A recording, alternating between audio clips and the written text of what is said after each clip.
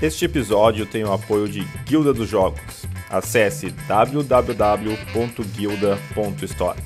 Vem me fazer feliz porque eu te amo. Você deságua em mim, eu jogo oceanos. Diga! Meu nome é Eduardo Guerra.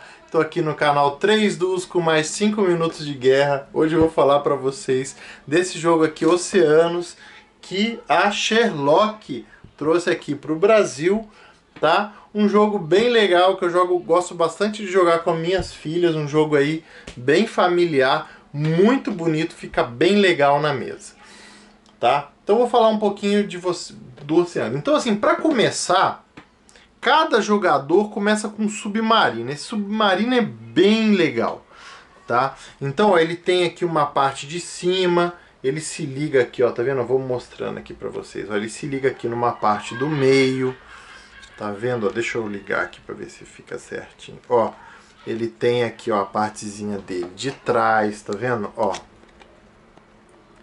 Acho que não, vamos ver se vai ficar isso aqui. E aí tem a parte da frente aqui, ó. Pronto. Aí, ó.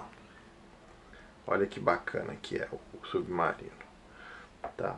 E aí, assim, cada jogador começa com um submarino desse, tá? Só que cada parte desse submarino pode receber um upgrade. No caso aqui, acho que a parte de cima aqui já tá com upgrade. Então, por exemplo, ó.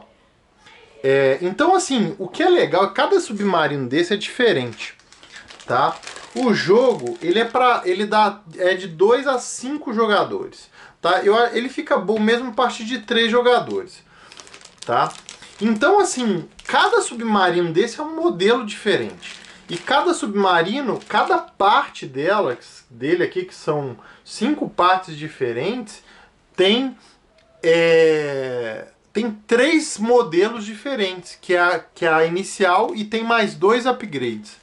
Tá? Então, por exemplo, ó, já pegando aqui o terceiro upgrade aqui, por exemplo, da parte da frente, ó, eu trocaria isso daqui, ó.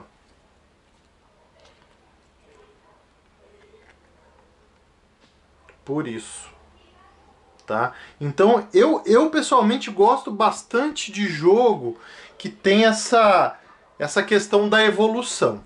Tá? Vou explicar para vocês como que funciona aqui o, o, o jogo. Ele tem essas cartinhas aqui, então você vai, na verdade, explorando o mar, né?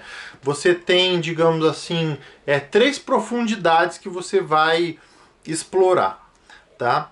Então, é, é, por exemplo, são cartinhas dessa aqui, ó, que vão tendo elementos. Pode ter os peixinhos, tá vendo? Pode ter esse negocinho aqui embaixo, tá? É, pode ter, por exemplo, os cristais, esse negocinho aqui, isso aqui serve para você poder fazer upgrade, né? Tem os bichinhos que servem para você pontuar, né? Tem os corais que você, se você, você tem que fazer uma sequência, tá? É, deixa, deixa eu ver, deixa eu achar mais coisa diferente aqui, ó. Tem, por exemplo, ó, tem o tesouro. Tá vendo aqui embaixo, ó? o tesouro que você pode mandar o mergulhador para ir buscar. E tem esse carinha aqui, ó, em cima aqui, que é o olho do Kraken, tá? Normalmente costuma ser uma carta boa, mas quem tiver mais disso daqui é, vai receber uma penalidade aí no final de cada era ali, tá?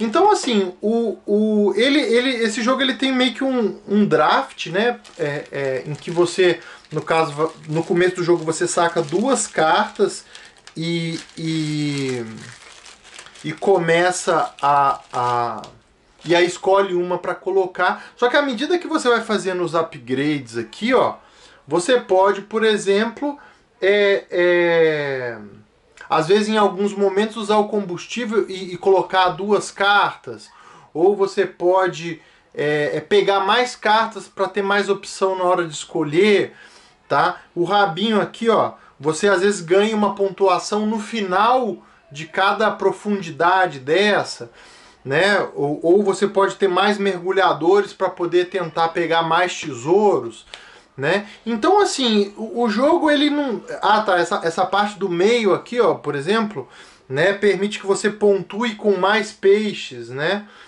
Tá? Porque é, é, quantos peixes diferentes você tiver numa profundidade, isso aí vai te dar uma pontuação. Então, à medida que você consegue, é, digamos assim, capturar mais peixes, você consegue marcar mais pontos. Então, assim, o jogo é, é, é impressionante como ele é equilibrado. Eu já tentei ir para vários caminhos diferentes, pensando, não, esse aqui é sempre melhor. Não tem, tá? Ele é muito bem equilibrado.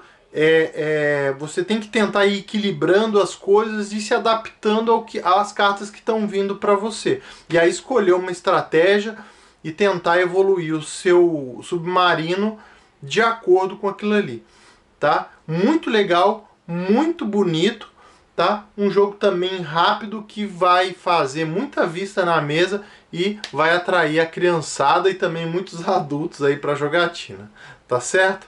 Então é isso daí. Muito obrigado. Até o próximo vídeo.